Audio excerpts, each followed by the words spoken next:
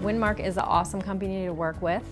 Um, they're a great partner, and so I would be very confident as far as having them as a partner. Literally, there's many days I just sit outside of our, our Yeah. shopping center there in Baton Rouge and just watch watch the customers literally take a bag into Once Upon a Child, go back out to their car, go into Plato's, go back out to their car, and go into Style.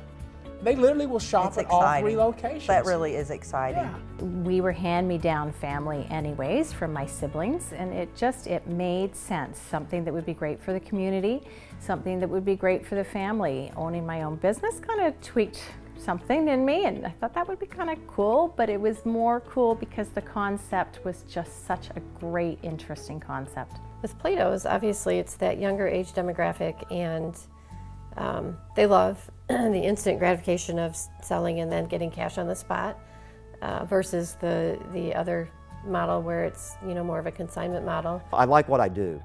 That's, that's one of the big things. I have a lot of friends that are retiring and things like that, and they love it. But I'm not, I'm not there yet. I, I really like what I do. I'm going to keep doing what I'm doing, and I may do more than I'm doing. When we went to our first Discovery Days, I remember uh, Tony saying, telling them that day, we'll own 10 stores. I remember him saying that. And Yeah. we're close. Almost there. Yeah. Almost there. It's a really nice system because you can do that. You can make them very Right. big and very profitable if you do the right things, and um, you know, get very comfortable, be able to do what you want to do. Be your own boss, do what you want to do when you want to do it. i love being in the stores it's so much fun to be working in both once upon a child and plato's closet there's no better place to be